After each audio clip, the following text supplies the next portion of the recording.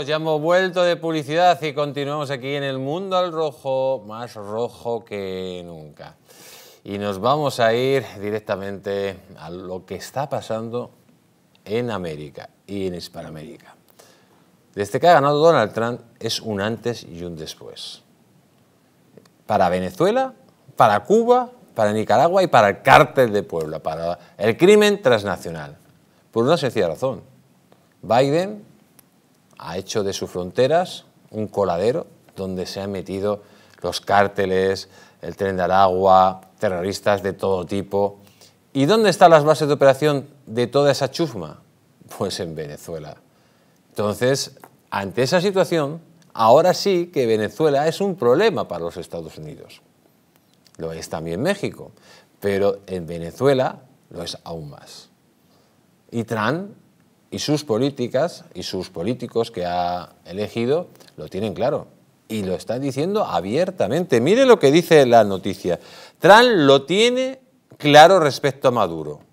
Dice, una fuente al Washington Post, el presidente electo ha dejado claro que Maduro tiene que salir del poder. Maduro tiene que salir del poder. Lo está diciendo Trump ya lo dijo las elecciones, lo repite día y noche. María Corina Machado ya ha pedido ayuda, que va a admitir cualquier tipo de ayuda, está muy claro, sea militar, sea eh, mediática, sea de cualquier tipo, porque amigos, al comunismo solo se le saca con los pies por delante. Buenas noches, Azabache. Buenas noches, mis guerreros de luz, amantes de la libertad. Un abrazo de corazón a corazón estará de acuerdo que al comunismo solo se le saca con los pies por delante. Pero estoy súper de acuerdo con lo que dices, Jesús, súper de acuerdo. Y, te digo una cosa, se viene una política exterior del presidente Trump muchísimo más fuerte, más contundente que lo que era Biden, que Biden es parte del problema y no de la solución. Si recordamos, en los últimos momentos, eh, Biden hasta livianó, flexibilizó las sanciones que se habían impuesto, no sobre Venezuela, sino personeros, testaferros, criminales, corruptos del régimen y por supuesto las, las empresas expropiadas por Chávez. Entonces, ¿qué hizo Biden? Eh, lo flexibilizó todo, eh, entregó a los narcosobrinos, es un hecho terrible a Alex Saab y a gente que de verdad debería estar presa por narcotráfico, porque si, si, si bien recordamos, la, la droga en Venezuela salía de la rampa presidencial, o sea, te estoy hablando que en Venezuela hay cárteles de la droga, pero a mí me, lo que me preocupa es algo y, me, y, y, deseo que se haga algo ya. Si por mí fuera, mira, te juro que acompañaría a Trump a hacer cualquier cosa por liberar a nuestro país, que sería la salvación para muchísimos países. Pero a ver cómo digo esto, en los artículos que se ven a nivel mundial hablan de Maduro, solo Maduro. Y eso es algo que a mí me preocupa realmente, porque no sé si lo hacen por eh, ignorancia o por complicidad, porque yo no creo en la inocencia política. Y todo señala esa Maduro. Y como hemos hablado en otras oportunidades, Maduro es la copita del iceberg de una gran organización criminal. Maduro puede irse, lo pueden matar, no solamente eh, la gente de militares que puedan entrar, que hagan una cosa quirúrgica, a mí me encantaría que pagara en esta vida lo que ha hecho por, por destruir a mi país y la cúpula también, pero hay que, no hay que perder de vista que es una gran organización criminal con muchísimo poder. Entonces, lo más importante aquí es las acciones que se van a tomar en adelante y que de verdad sean la genuina liberación del país. No nos podemos conformar con menos porque conformarnos, con menos es sacar a la tiranía, sacar al tirano y quedarnos con la tiranía dentro. Y eso sería fatal no solamente para Venezuela, sino para todo el globo terráqueo. En ese artículo hablan de alianzas regionales y globales Dicen que pretenden romper las alianzas del eje del mal para que dejen solo a Maduro. Eso es bastante difícil si vamos a pisar la realidad porque estamos hablando de narcotraficantes y terroristas. Después hablan del, imperio, ¿no? Hay que destruir las falsas narrativas que impone no solamente Maduro, sino todo este socialismo del siglo XXI y el globalismo con las narrativas hacia el imperio yanqui que realmente, si nos podemos hablar de la realidad, todos los hijos, toda la cúpula de poder tiene sus fortunas dentro del imperio yanqui al que tanto odian. Y este, una cosa muy importante que no se me puede olvidar de ese artículo es el infeliz y la prostituta de Zapatero. Zapatero pidiendo diálogo, en serio Zapatero. O sea, nosotros llevamos 16, 16 diálogos 30 malapraxis y usted vuelve a pedir diálogo. Yo le voy a decir una cosa, si aquí en la tierra usted no paga por todo lo que ha hecho con mi país y con mi gente, porque tiene todo ese dinero que tiene, déjeme decirlo, que está lleno de sangre, el karma que le va a caer, yo creo que va a tardar como infinitas vidas para pagar lo que usted ha hecho en contra de los ciudadanos venezolanos. De verdad, este, yo espero y aspiro, Jesús, que se haga justicia no solamente para Venezuela, sino para el mundo. Pues Azabache, muchísimas gracias por estar aquí en el Mundo Rojo y como siempre no nos podemos despedir de ti sin ese mítico grito de guerra que tanto miedo le da a Maduro. Claro que sí. Un abrazo enorme de corazón a corazón a todos los del piso, a todos los que nos escuchan. Recuerden que la libertad es todo. Sin libertad no hay absolutamente nada. Síganme en mis redes sociales, arroba. Y por supuesto, ¡viva la libertad! ¡Carajo! ¡Olé! Pues viva la libertad. Un fuerte abrazo a Zabache. Y lógicamente vamos a continuar. Atención lo que dice la noticia. Nicolás Maduro advierte que la oposición se va a repetir si intenta sacarlo del poder.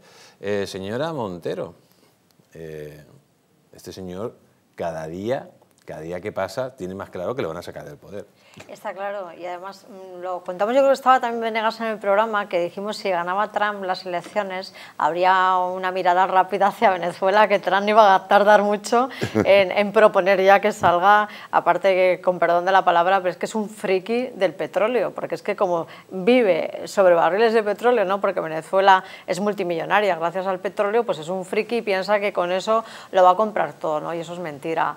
Aparte que estoy de acuerdo con Azabache, ¿no? Eh, yo conozco muchos venezolanos que tienen verdadero pánico a hablar aunque estén aquí emigrados en España. O sea, es, ha sembrado un terror un miedo ¿no? en, este país y gente que incluso me contaba que en Caracas dejó todo, las casas y todo vacío, se vinieron aquí aunque fuera con lo opuesto, pudieron sacar los ahorros que podían para emigrar a España, en concreto a Canarias, y, y que no quieren ni volver. O sea, ¿Cómo va a ser esto? ¿no? Que en pleno siglo XXI tengas que dejar todo, o amenacen a tu familia y tengas que dejar todo y ni siquiera puedas volver, como dicen ellos, a la madre patria. ¿no? Entonces, bueno, pues Maduro es un friki eh, y, va a salir del poder, eso está claro, y lo sabe, y, además lo dijimos aquí, yo creo, ¿no? Eh, recuerdo que hablamos hasta de la CIA, ¿no? La CIA que le gusta quitar y poner presidentes, pues habrá que preguntarle a la CIA de Trump, en la que pueda confiar Trump, qué previsiones tiene para sacarlo del poder.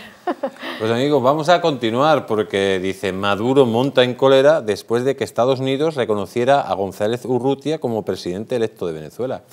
Y es que es una tras otra, o sea, ahora mismo en Maduro, la mayoría de, las democracias es considerado como una dictadura y que ha usurpado el poder directamente. O sea, cada un otro golpe de Estado sobre otro golpe de Estado y es un gobernante ilegítimo. Por lo tanto, cualquier acción contra él estaría legitimada. Ayer hubo una conversación en el Congreso a propósito de, la, penetración, de, por ejemplo, de Cuba como portaaviones eh, de Rusia en América y su importancia en Venezuela. Eh, por lo visto, eh, mm, Cuba, o, lo que es Maduro, está bajo el control de una, de, digamos, de una serie de guardia de corps de cubanos. Es decir, los que le protegen son los cubanos. Y eh, el poder, y estos lógicamente eh, son, digamos, eh, pues unos mandados de, lo, de, Rusia. Esto es así, es así. Pero la cuestión fundamental es que, mm, por lo visto, me comentaron que, comentaron que el resultado electoral no, no perdió Maduro por un 70-30, que es lo que se suele decir. No, no. Los datos apuntan a un 95-5. Eso significa que hasta dentro de los cuarteles votaron en contra de Maduro. Entonces, eh, yo creo que Trump no tiene que hacer eh, especialmente nada, lo que tiene que intentar, pues, sabrá, yo no, no, voy a dar consejos a un presidente de Estados Unidos, pero bueno, digo yo, lo que, lo, que, lo que debe hacer es aprovechar esa coyuntura que seguro que estarán Esa quinta columna. Esa quinta columna. Y sobre todo para no solo acabar con Maduro, sino para acabar, como bien decía Azabache, con todo lo que es la estructura de poder que hay allí. Porque ahí están cubanos, está el terrorismo, está el terrorismo de Hezbollah, está eh, los narcos, está Rusia y China, que bueno, está yo creo que con un pie ya de salida eh, en vista de la situación en la que se encuentra el país. Sobre todo porque, eh, igual que con Cuba, China está en una situación, bueno, es que China ahora mismo es habría que verlo también, está en un momento muy, muy delicado y se están produciendo una serie de atentados en China, que nos está dando mucha información, y, y pues, sobre todo por la mala situación económica del país, que está empezando a afectar a los chinos. Pero bueno, es decir, para terminar, la cuestión es que están todos los elementos para que sin tener que hacer ninguna intervención militar, eh, hay una determinación para poner en marcha un plan que acabe con el régimen en general e instaure en nuevo una democracia como Dios manda en, Venezuela. Creo que es posible. Yo tengo esperanzas que Trump cumpla eh, la promesa y yo creo que si Estados Unidos eh, hace lo que tiene que hacer, yo creo que Maduro cae. Porque además siempre creo que no se puede eh, permanecer en el poder de manera indefinida cuando tienes el 95% de la población ya que, que no, no, lo acepta.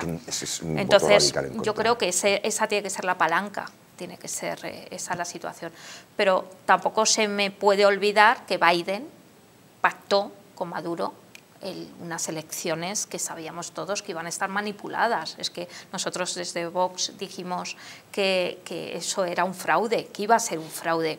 Es verdad que, hombre, pues se ha sabido que mucha población, o casi toda la población, estaba con, con la oposición. En este caso no ha sido un fraude, directamente, las han perdido y ha dicho, no las reconozco. Efectivamente, no, pero que ellos tienen las actas además, y además incluso la Fundación Carter, o sea, ha dicho que las actas dicen que, que, no ganó Maduro y que, bueno, que había ganado por goleada, pues... Eh, Edmundo González. Sin embargo, ¿no? ha sido tan radical la administración Biden como lo está haciendo Donald Trump a la hora de reconocer expresamente, ¿no? Sí, pero que Biden eh, hizo ahí un trabajo que por eso creo, y yo eh, sí tengo esperanzas con, con Trump, vamos a ver si se eh, eso al final acaba en buen puerto porque me gustaría verlo y cuanto antes porque la gente está sufriendo muchísimo.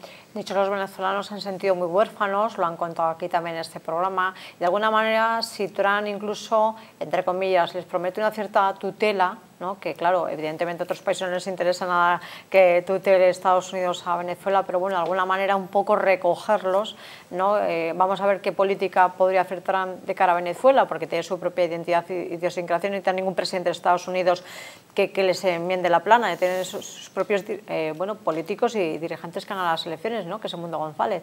Pero bueno, yo creo que quizá Trump trate un acercamiento y tutelar, entre comillas, un poco desde fuera y, y desde luego también para acabar con la corrupción sistémica que hay en Venezuela no es de un día para otro. Aunque salga Maduro del poder y entre otros, vamos, tienen que imputar a media Venezuela. Pues amigos, la verdad que hemos empezado con Aldama y vamos a volver con Aldama. Porque quiero que se vayan a dormir con una sonrisa de oreja a oreja. Y quiero que vean el mensaje, el mensaje que le ha dado Aldama a Pedro Sánchez. Vamos a ver el siguiente vídeo. Se las hace en la calle, no en zonas privadas, ¿vale? Eso una. Y dos, como tantas pruebas quiere, que no se preocupe el señor Sánchez que va a tener pruebas. Ahí lo tenemos. No se preocupe, señor Sánchez, ¿no quiere pruebas? Le vamos a dar todas. Todas las pruebas del mundo. Señora Montero, todas las pruebas del mundo. De hecho, ha añadido y el señor Sánchez es que tiene Alzheimer. y, que me dan las pruebas de Torres, yo creo las de Torres. Bueno, yo Torres, primero que caiga la, cabeza de la serpiente, claro. La cabeza de la serpiente, así es. Sí, yo creo que es un día importante para la democracia, para todos los ciudadanos que estamos contra la corrupción. Es un mal día para Sánchez, para el número uno, y, bueno, pues eh, puede acabar citado, por cierto, ahora sí, con estas declaraciones del Lama, desde luego como mismo le va a tener que citar de testigo. Por muchas creas que ponga contra el Lama, el Lama tiene un abogado abogado que Choclán y no se va a columpiar. Nada más, puede poner las que, que quiera, pero como el, sumario ahora mismo secreto, y no, no se las va a admitir el, juez ahora mismo esas querellas hasta que se, eh, se termine el sumario. Decir, no, no, eso es- ha sido un- un- un brindis al sol.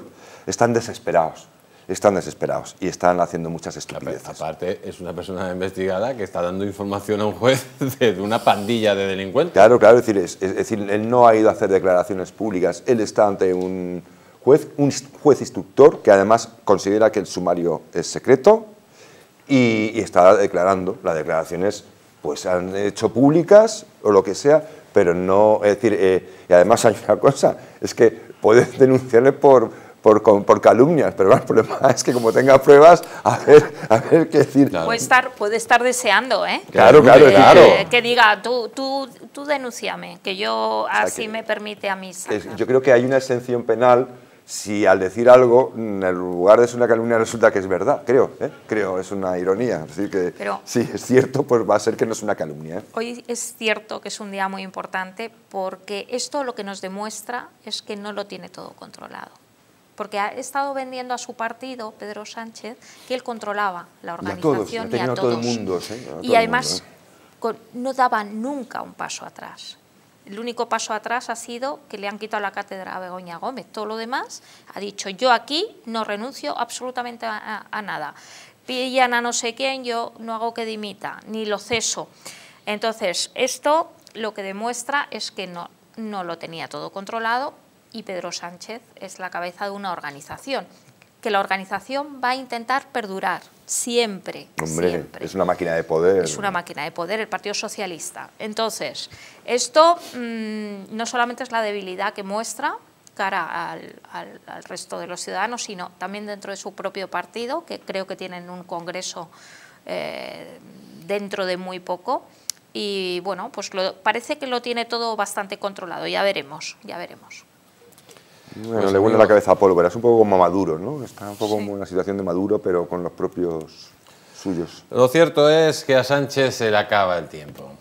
El tic-tac está sonando y si no es mañana, es pasado. Y en breve este tipo va a caer. Pero va a caer como todo el equipo. Con todo el equipo. Ahora mismo está como Hitler en el búnker. Como que se cree que tiene divisiones defendiéndoles. Ya no, no hay divis- ninguna división. Ya tienes a los rusos directamente en Berlín. Sánchez, entérate, entérate. Y vas a terminar como Hitler. Y tu régimen va a terminar como el régimen de Hitler, exactamente igual. Y amigos, si quieren pasar un fin de semana maravilloso, pues el próximo sábado, día 23 y domingo 24 de noviembre, se celebrará en el pabellón de cristal del recinto ferial de la Casa de Campo de Madrid la Feria del Coleccionismo Militar, no solo militaria. Compra, venta e intercambio de todo tipo de artículos militares, uniformes, medallas, documentos, libros, fotografías, maquetas, juguetes, banderas, cascos y además exposición de vehículos militares de época, grupos de reconstrucción histórica, asociaciones y hermandades de veteranos de las Fuerzas Armadas, zona Airsor con galería de tiro para los más pequeños. Entrada donativo para la Fundación Rodrigo, 7 euros. Y además, si va dos días, en vez de pagar 14, pagaría 10. Niños menores de 12 años, gratis. Más información, www.nosolomilitaria.es. Y nuestra querida Arancha ya está preparando, ya me ha dicho que ha comprado las entradas, ¿no? Para Hombre, pasar el fin de semana. La primera, voy a estar allí. Te vas a armar, ¿no? Vas a ir a armarte hasta los dientes, ¿no? Claro que sí. Señora, señora eh, Montero, como siempre un, placer y no placer. olviden amigos ver su programa el sábado a las 22 horas, un programón eh, de primera, nada de las esta noche y toda esta guarrería, vean cosas serias con nuestra querida María Montero. Pues muchas gracias. Os traigo unas muñequitas de regalo del Rincón del Espía del programa. Ah, pues muchas gracias. Tanto para Arancha como para mi querido Venegas Hombre. y para el presidente del programa. Esta, esta arancha, que es verde, lo verde, de vos, claro, para, para. Arancha. Y las otras dos para, para, para nuestros queridos compañeros. Muchísimas gracias, señor Venegas. Muchísimas gracias, señora eh, Cabello. Y a todos ustedes, sean buenos. Que Dios les bendiga. Que Dios bendiga a la madre patria y que bendiga al pueblo de Valencia. Y recuerden que para que triunfe el mal, solo hace falta que los hombres buenos no hagan nada. Hasta mañana, que le queda poco a Sánchez, amigos.